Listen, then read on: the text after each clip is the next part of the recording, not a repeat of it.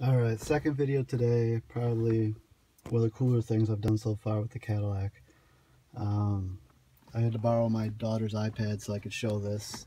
Usually I use my phone, but I'm going to show you how to screen mirror your Apple device onto a Kenwood screen um, if you don't have the HDMI input or the yeah the HDMI input to do it which some of the higher higher Kenwoods do. But this is the DDX793 I think this is the highest one that doesn't have it.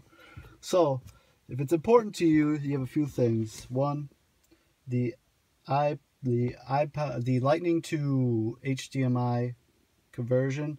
This here basically just charges the phone as well. It's a it's a lightning adapter hooked up to the USB that's hooked up to the screen. Um, this goes, this US, this uh, HDMI goes to, goes over to a, um, to a iLinks system. The iLinks goes over to a Kenwood composite to, to mic system, and then it hooks into the back of the screen.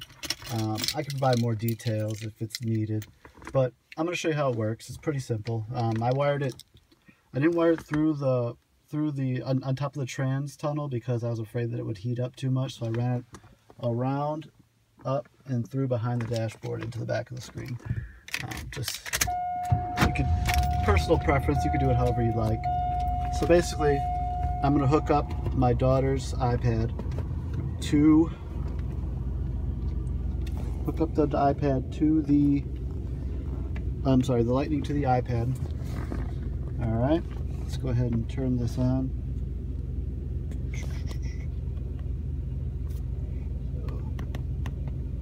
all right. So basically, I'm going to play, you can see here, it's screen mirrors. Let me get it in here to the AV. Sorry. AV in. Basically, it's screen mirrors, everything you have onto there. Um, if you have YouTube Red, it looks really good. Um, here, let me go ahead and play on this video here. You won't work on the screen. As you can see, you can't hit it, hit it on the screen. But, as you can see, it's playing. It's connected to AirPlay. You have YouTube Yeah, I got him saying. Let me turn it down. But yeah, you, then you could go ahead, so you don't want to use all your data, you could turn it off on here, and it'll stay playing on here. Um, pretty cool, so you can watch music videos or whatever kind of video you want. Netflix, while, you, uh, while you're driving. Um, once again, if you want to play videos, you got to ground out the parking brake. I showed how to do that in an earlier video.